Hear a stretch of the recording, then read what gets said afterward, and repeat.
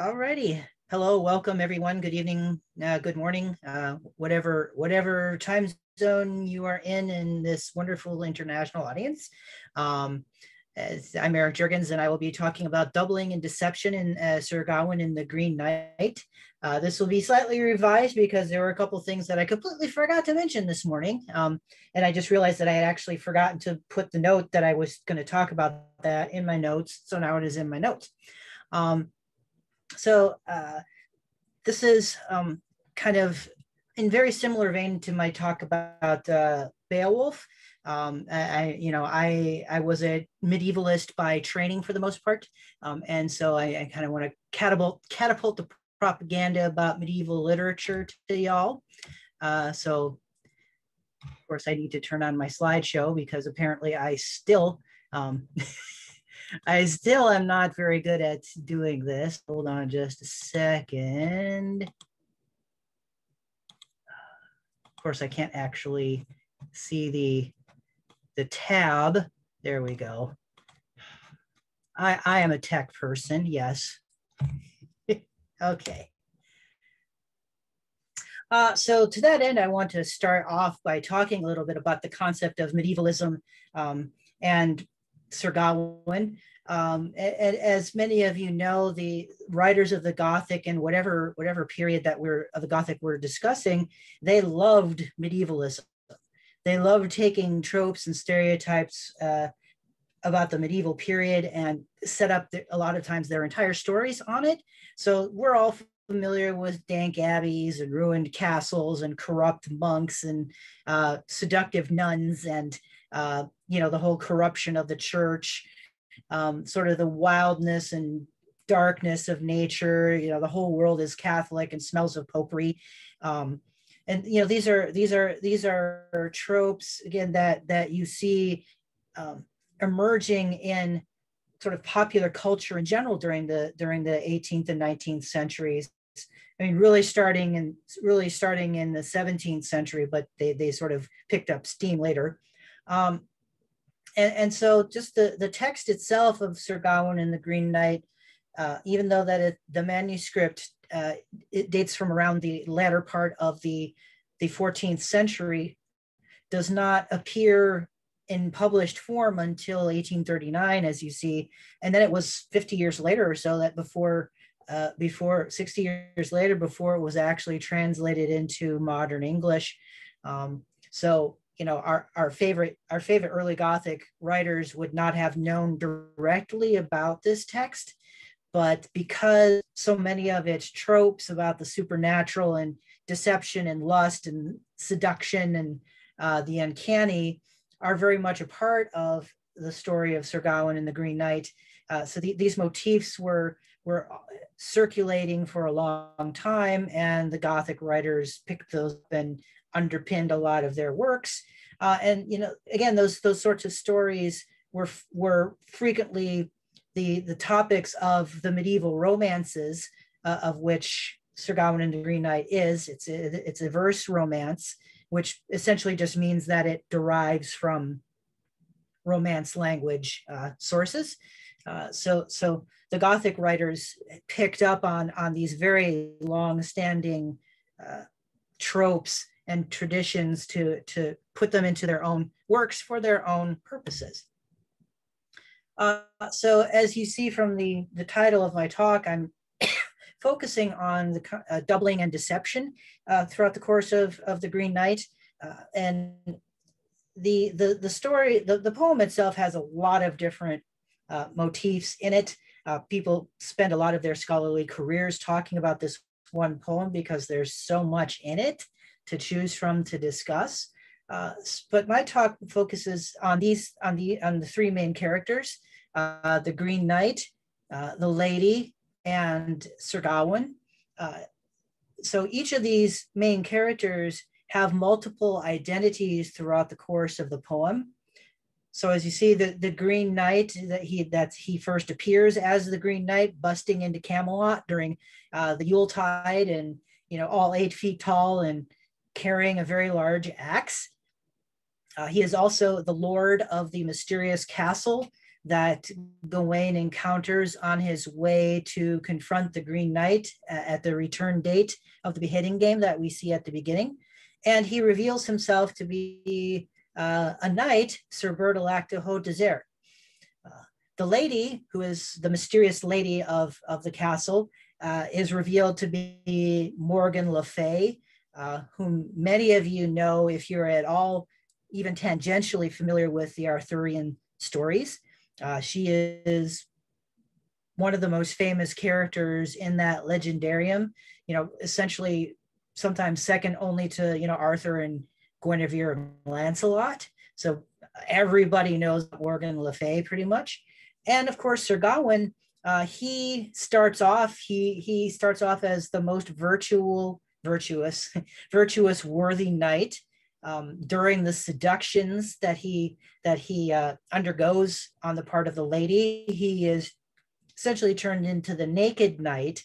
He is at the lady's mercy. Um, as I as I'll talk about later, he is literally tied up by her, uh, and he ends up being the the contrite knight who who is genuinely contri- contrite about about his transgressions uh, against the, against the Green Knight and the lady and his knightly honor. And one of the things that goes along with these these the tale of doubling and deception, the the the time of the year that this story takes place in uh, is during is during the Yuletide, uh, which is of course when the, the veil between the worlds is at its thinnest. Uh, the Yule the Yule tide, the winter is the time for storytelling. These certain kinds of stories are told during this time of year. And again, it, it is a very liminal uh, time when when the the old year is dying and the new year is just in the process of being born. So this is so a lot of times sort of every anything goes. And also importantly for emphasizing Gawain's initial virtue is that he sets out on his journey to confront the Green Knight on All Saints Day. Uh, so, so this is when he is. This is when he is armed in his in his special armor, which I'll talk about in a little bit, um, and it, it's sort of symbolic of his of his role as a Christian knight. Now, the character of the Green Knight himself, uh, even though he engages in in sort of deception, deceptive games, um, he's an ominous figure, but he is not a villain as you might think, and nor is nor is Morgana. They function as teachers, really. Now, of course, because this is a this is a medieval text, you do get plenty of the standard medieval misogyny, which is the thing that I forgot to uh, mention in more detail, uh, which I will get to.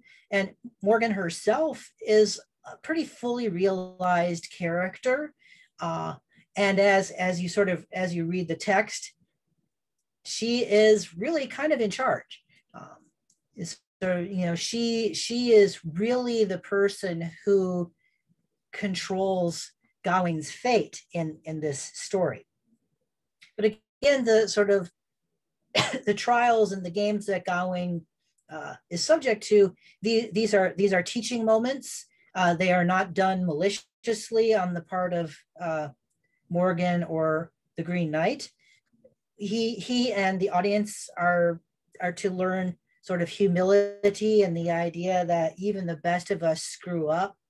Uh, so, but it's the, the lesson is that you own up to your mistakes and, uh, and then that you, that you ask for forgiveness and that you move on and learn from them. Okay, just a little bit of background about the poem itself. As I said, the, the, the manuscript dates from the latter part of the of the 14th century, anywhere from 1375 to 1400. Uh, it is a verse romance in the, uh, the Arthurian tradition.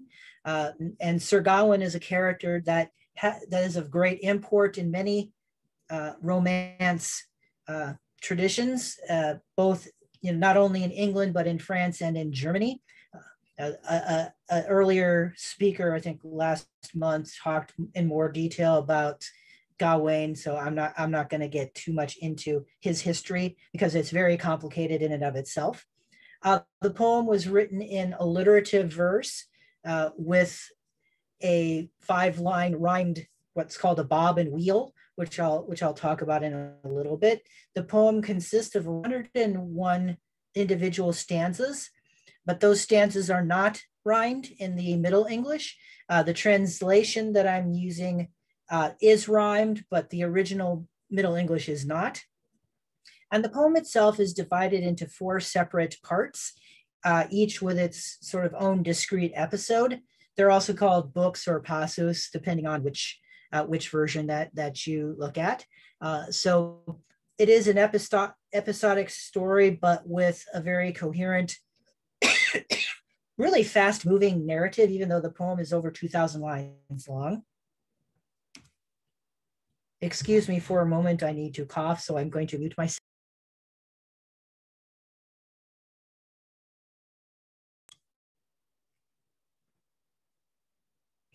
Okay, so this is an example of what the bob and wheel looks like. Uh, so the first line there, that's that is the last line of that particular stanza. And I'm just going to read it in probably very bad Middle English. On money bonkers full broad Britain he settlers with win, and the with win is the bob. Where where and rock and wonder be besits hat want therein, and oft both the bliss and blunder, fu skill has skifled sin. Uh, so those four lines are what's called the wheel. And what these what what these things do in the poem is they, they function as literally turns between each each of the stanzas. So they give this poem its pretty unique rhythm and it sort of it, it helps you as as the audience sort of follow the story uh, so this is this is the first appearance of this particular kind of structure uh, in in english poetry. Uh,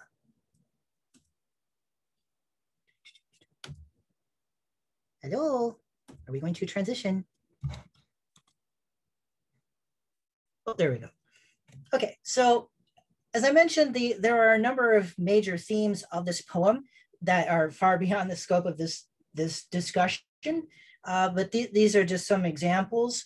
Uh, because of course it is a knightly tale, we get a lot of discussion of loyalty and chivalry, sort of how the ideal knight is supposed to act. Uh, ideas of cowardice and bravery, because Gawain shows both.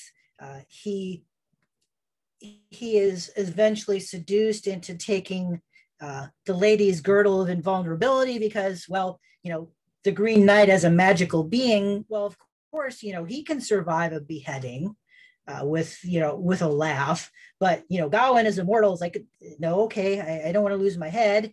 Um, and that's where that's he gets rebuked for flinching as as he bows his head to get his to get it chopped off by uh, the Green Knight. Uh, there's a lot of discussion between uh, nature and culture and sort of how humans are subject to nature, no matter sort of how much they box themselves on the inside. And of course, the ideas of the supernatural and temptation and chastity. Now, those are those are themes that I'll be focusing my my talk on today. And just as just as a note, uh, Tolkien uh, has a probably the most one of the most well-known modern translations of this poem, as well as a scholarly uh, Middle English edition. Uh, and some of some of the editions of this poem list Tolkien as the author. Um, and I, I, you know, said that he would have been very irritated by that um, because, you know, you know, that's the kind of person he was. Uh, my, my first encounter of this poem actually was we we in a in a literature survey course as a grad student this was the, that was the translation of Sir Gawain that we read was was Tolkien's because it was a you know a cheap three dollar paperback edition. Uh, okay, so in the story itself, we get we get this towards the end of the poem. This is where we this is where we get to this theme of lust, seduction, and disguise. Uh, Gawain himself, as I mentioned, begins the tale as the, the most ideal virtuous knight uh, who has the protection of God via the symbol of the pentangle. Uh, and this poem also has a distinction of the basically this is the first known depiction of that symbol in in English literature. Um, of course, when I think of pentangle, I think of one of my favorite uh, uh, English folk bands from the 60s and 70s. Uh, check that, check their stuff out. Um, Gawain becomes the champion of his king when when the Green Knight busts in and challenges the court to the beheading contest. Uh, Gawain, as the loyal knight, is certainly not going to let his king um, be subject to beheading, so he steps in and, and accepts the challenge, uh, which is which is what an ideal knight is supposed to do uh, that they, they hold their Lord in such reverence that they are ready and willing to die for him. Uh, and he faces he faces his peril bravely, at least until we get to the until until he gets to the day before he is to meet his fate, and I'll get to that in a bit. Um, as he journeys towards the chapel green which is where the which is where the uh, confrontation of the green knight is supposed to occur he runs across this mysterious castle and he is greeted and taken in by its mysterious lord and lady uh, and like the proper lord of their household uh, he favors Gawain, his guest, with all the hospitality that his household can offer, but also he asks for reciprocity, which again is is his right and his due as the as the lord of the house. So the Lord will provide the the, the feasting meat, but he tells Gawain that for what I give you, you are you are to give a representation of what you get when I am out hunting back to me. More on that in a little bit. Uh, and so the entirety, most of the entirety of the third part, the third fit of the poem is details of the Lord hunting the questing beasts and Gawain being seduced by the lady. Uh, so we, we have the three questing beasts in this order. Uh, so the Lord starts with the deer. Um, and not that deer hunting is necessarily easy, but it is sort of the, the lowest level of the hunt um, and is and is less dangerous uh, than the boar.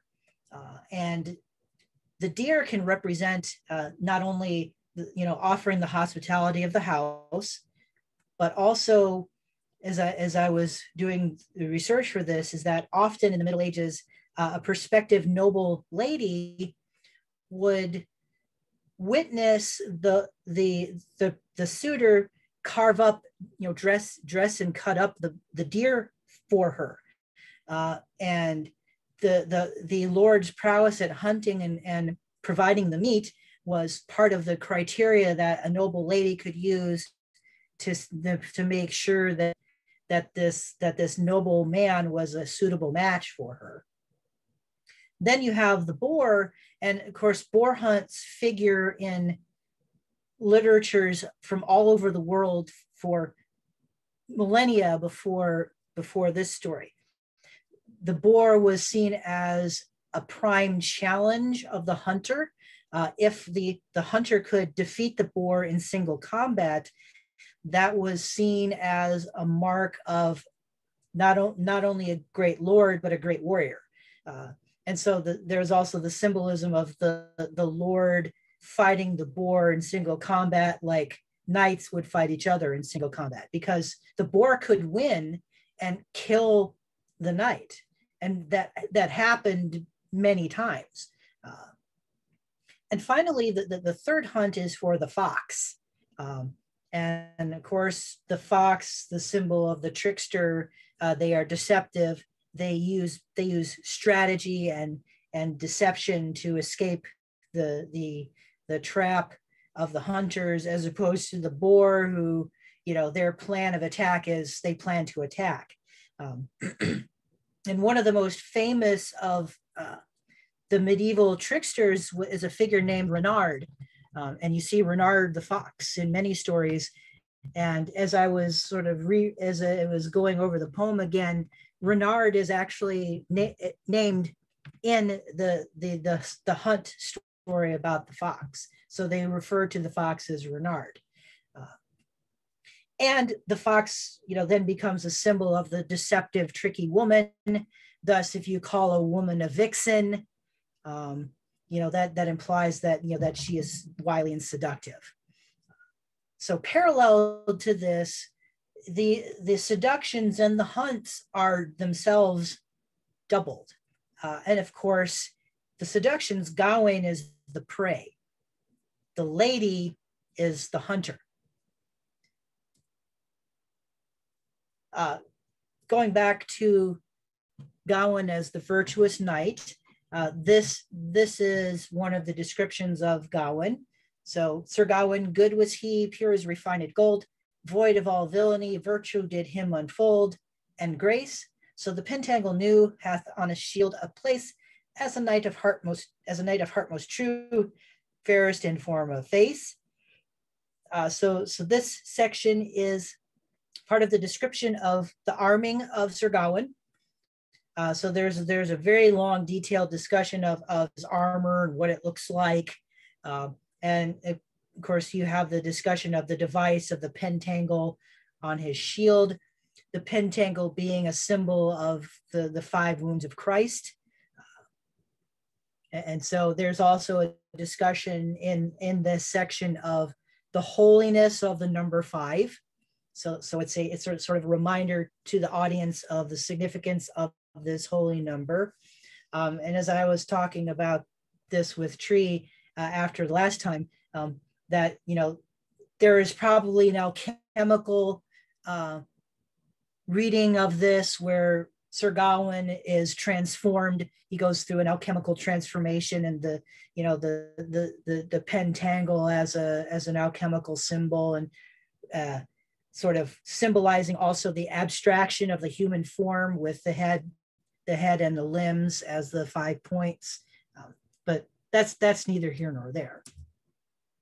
Um, so Gawain at the first seduction um, is literally tied up, and I'll, I'll read that. I'll read that in a, in a, in a minute.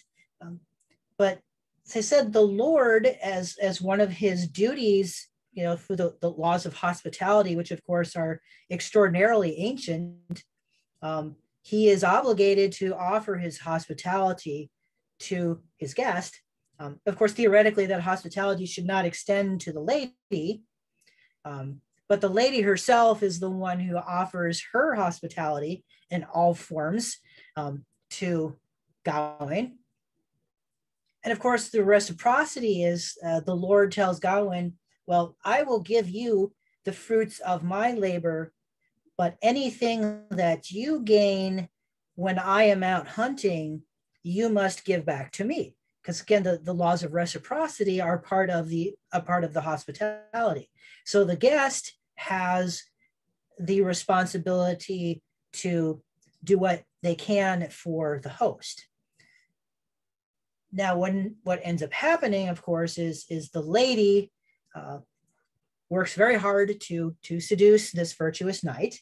Um, and we start off with after, after Gawain's first night in his chambers, the lady pads in very quietly and ties him up. And here's, here's that passage. Good morrow, Sir Gawain, so spake the lady fair. A careless sleeper ye, I came ere you were aware. Now are ye trapped and ta'en as ye shall truly know, I'll bind ye in your bed ere that you hence should go. Laughing, the lady Lancer jests at him away. Sir Gawain answered blithe, Give ye good morrow, gay. No, I am at your will, forsooth it pleaseth me.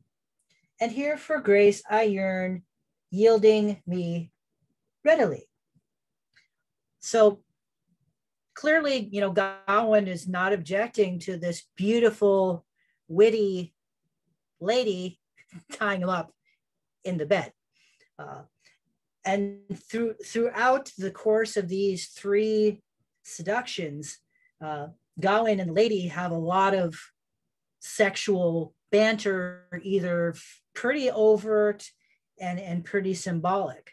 Um, and the lady herself, at the end of the stanza that I uh, just read to you, the bob and wheel is now rest. My body is at your will to use as you think best, perforce. I find me still servant to this, my guest. So she very clearly offers herself to him um, in, under the guise of pro proper hospitality. Um, now, of course, literally and figuratively, this, this puts Sir Gawain in a bind because on the one hand, you know, he he's not he doesn't want to he doesn't want to engage in in a play with the lady of the house behind the Lord's back. But on the other hand, he doesn't want to dishonor her as the lady of the house. So he he negotiates back and forth with the ladies, you know, essentially, no, I really can't play with you in the way that you're offering, but here I'll give you a kiss and then two kisses. And then when the Lord comes back, when it's time to exchange, Gawain kisses the Lord once and then twice. And then the third time, this is this is when Gawain succumbs because the day you know the, that the next day he is to go face the music against the Green Knight, and she offers him her girdle of invulnerability. Uh, he's like, okay, uh, you know, I, I'm I'm going to take it. You know, he feel he feels kind of ashamed, but you know, clearly he, he doesn't want to end up with his head chopped off. So so he accepts her token. And then at the ex, at the exchange time, Gawain hems and haws because well, he can't offer the Lord. Oh, by the way, your wife gave me this. Uh, so so there's so there's deception on Gawain's part. He he lies to the lord of the household, and that's not proper. You don't want to do that.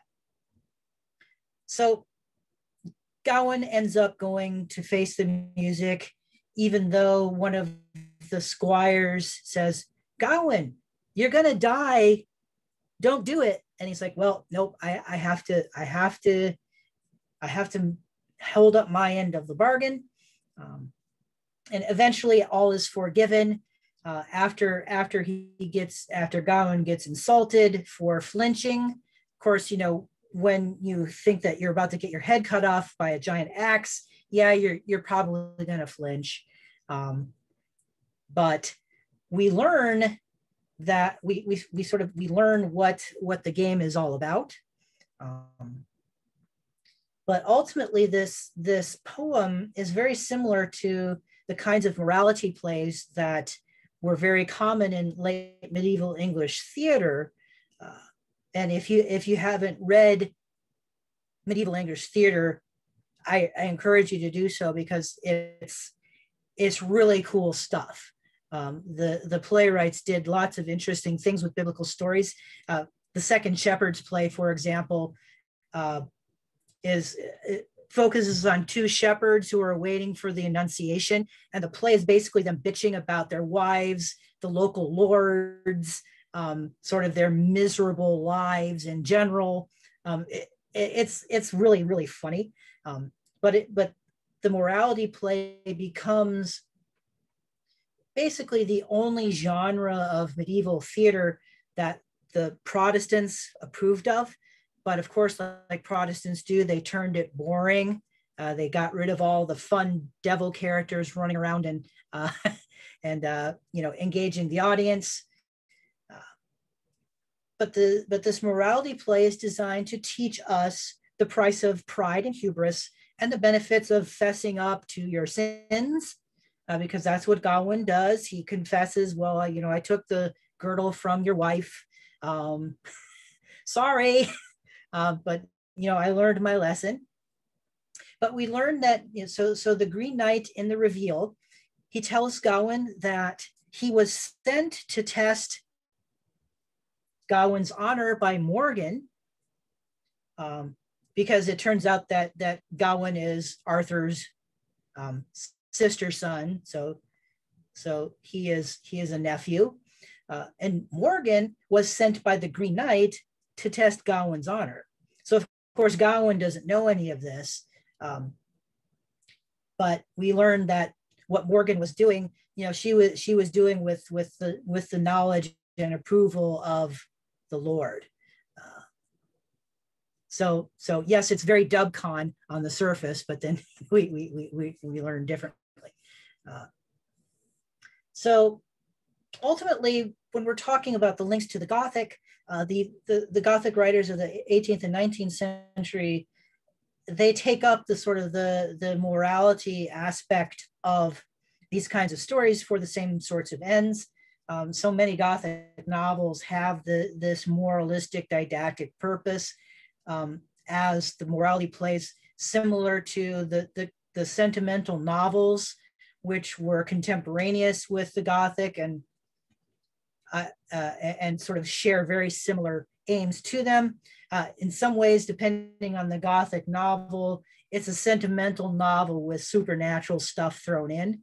Um, because the sentimental novel, they focus on the idea of virtue defiled uh, and that lust kills.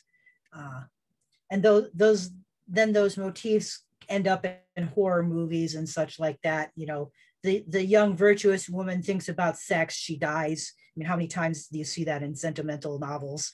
Uh, so, so it's, it's, it's interesting, but the Sir Gawain and the Green Knight you know has these these motifs of the potential of virtue being defiled but of course its view lust are very different. Uh, and that has to do of course with you know i don't know that much about medieval sexuality but medieval sexuality there the concepts of it were much different more fluid um, less restrictive and proscriptive that than that we end up than we end up with in the 19th century. Uh, the victorians really messed all that stuff up. Um, so ultimately, to, to wrap sort of wrap up this discussion, um, the poem itself is a wonderful example of the medieval imagination. I mean, dis- despite uh, the intrusion of misogyny, uh, the example that I wanted to mention was during the during the confession that, of Gawain's mistakes, the Green Knight says, "Well, you know, you know, dude, um, you know, Adam was deceived by a woman. So was Samson. So was David. Uh, so you know, if basically if these biblical head honcho guys uh, were deceived women, it's okay that you, as an ordinary mortal, were. So you know, just chill, take it easy." Um, now, again, the, the, these this discursus on on the the on the treachery of women, and I didn't talk about too much in the last talk, but but the fact that Morgan is she's called a goddess, she is she is uh, accorded the respect that she deserves as as a powerful magic user and essentially as as an as a powerful noble. Um, I you know, I think that the the poet is hedging their bets. It's like, yeah, we've got the misogyny, but the the the the female character doing the deceiving is she is worthy of great respect. So so she's not just some horrible temptress. Um, but medieval literature in general is filled with all sorts of inventiveness and complexity. Uh, I use the example of uh, another poem, Piers Plowman, by John Langland. Um, and that poem is basically an extended theological discussion. It also includes a lot of depictions of everyday life in, in, the, in the late 14th century. Um, and it, it's a series of complicated dreams. So Piers is a dreamer, um, and we get dreams within dreams. And the whole th the whole structure of it is very complex. Um, and you also have the cycle plays, which were also called the passion plays. And these told the story of biblical history from literally Genesis to Revelation. And many of the major cities in England uh, during the, the 14th and 15th centuries put on these plays. They were a point of civic pride. And each of the and each of the, the town's uh, craft guilds were responsible for putting on these plays. So unsurprisingly, for example, the the the, the play about the uh, crucifixion was often put on by the nailers. So you know, of course, they would make the nails uh, for the cross, and various and various other guilds would would uh, construct the construct the sets. Uh, so guilds would actually compete for the prestige of putting on and sponsoring uh, these plays. And I remember when I was reading them for the first time in class, we talked about that in, you know, in these towns, you could have, you know, 10, 10 guys who play Jesus in these plays, kind of walking around and talking together. Uh, and in the, in the 20th and 21st centuries, several of the towns who put on these plays, they revived them. So like, for instance, the York cycle was was revived and i think i think they do it every couple of years uh, in York, where where they have the manuscripts and they they put on the plays at, around midsummer, around the time that that the that the plays were traditionally put on. Um, but these are these are ones that again that I that I highly uh, recommend that you read. Um, so you know, sort of the moral of my story is read medieval literature. Uh, it'll it there's a lot of interesting stuff in it. And as I'm, you know, I like to link it to the Gothic because you can see so many of the tropes that the Gothic writers sort of took on and modified. You see them in so much medieval literature. Um, and sometimes depending on depending on the Gothic author, the medievals do a much better job of playing around and interrogating these tropes than the Gothics do. okay, so uh, that concludes my discussion. Uh, so I will stop and questions.